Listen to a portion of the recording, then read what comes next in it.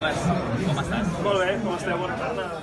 Eh, estic eh, inquiet, arriscaria a dir. Molt?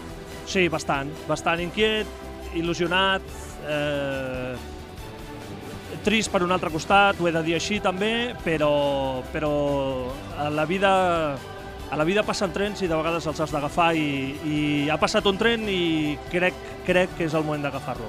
Et trobarem a faltar. Jo us trobaré segurament a faltar molt més que vosaltres a mi, n'estic Vol- absolutament Vol, convençut. vols dir? N'estic convençut que us trobaré molt més a faltar jo perquè, clar, eh, tota la meva vida he estat fent el mateix, eh, parlant del nàstic o parlant d'una altra cosa, i ara, i ara me'n vaig cap a l'altre costat eh, a veure si les coses surten bé, si, si tot allò que moltes vegades he dit, ostres, a mi m'agradaria això, m'agradaria allò, m'agradaria allò altre, doncs ho puc posar en pràctica i, i us puc ajudar també en tot el que pugui des de l'altre punt de vista. On et trobarem? Em trobareu a partir de la setmana vinent al club, al Nàstic, perquè m'incorporaré a partir de la setmana vinent al club, al Nàstic, al Departament de Comunicació, amb l'Adri, que és un tio treballador, incansable, espectacular. Ja hem estat parlant de cosetes i, i a partir de la setmana vinent és, és, és el moment de fer aquest canvi. Em fa molta il·lusió, reconec també que és el club de la meva vida i, i per tant això suposo que té un component sentimental que també ajuda molt, però el que vull fer sobretot és ajudar el club a fer-se gran, és un club que a banda de ser el teu i de sentiment és un club que, que té una gran projecció, econòmicament, clar, jo entro en el millor moment perquè la Junta General ho van dir l'altre dia, es quedarà amb deute zero, és el millor moment. A partir de la setmana vinent al club, al Nàstic. Deixa'm que et doni les gràcies. No, no, no, no, a mi no, a mi no, a mi no, perquè a, a, no, no, no, jo hauria d'agrair mm, a molta gent, amb la ràdio, el bé que m'ho he passat, les coses que m'ha explicat, m'ho he passat molt bé. Ho trobaré a faltar molt, n'estic convençudíssim, molt, molt, molt, molt, molt, però era el moment de, de fer-ho i, i us trobaré molt a faltar a vosaltres. Però sabeu què passa? Que no tinc cap dubte que, que anirà bé, que anirà molt bé, que ho tirareu endavant, que, que funcionarà superbé, que us escoltaré, que estaré pendent, que us fotré la bronca quan em toqui, perquè suposo que arribarà un dia que us hauré de fotre bronca. Ja, ja comencem. Sí, ja ho farem així, però, però que espero ajudar-vos en tot el que pugui, en aquest cas des d'un altre punt de vista, que és el del club. Deixa'm que et posi una, una coseta que vull que escoltis, Ah, eh, val, val.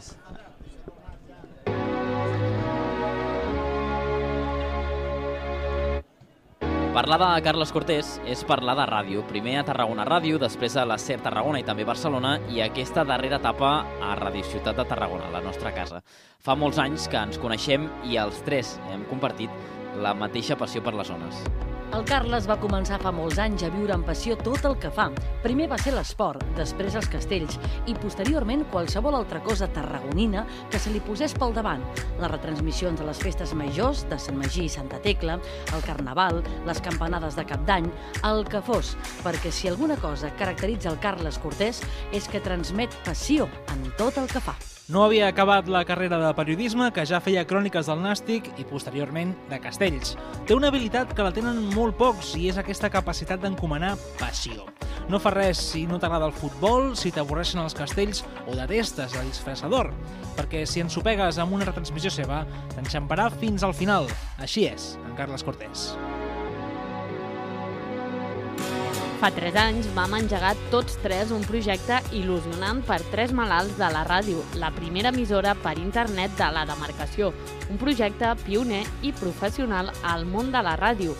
Ell ha estat un dels impulsors i ha participat activament perquè Ràdio Ciutat de Tarragona s'hagi fet un forat al món dels mitjans de Tarragona. Ens hauria agradat que continués contribuint a fer-la més gran, però ho respectem i li desitgem tota la sort del món en aquesta nova etapa professional que engega ara. Carles Cortés ha fet escola, una escola de locutors a qui els ha ensenyat una cosa que convé que no oblidem, i és que per ser el millor només hi has de posar un ingredient, la passió. Molta sort, amic Carles, de part del Quim, de l'Albert i de l'equip de la teva ràdio.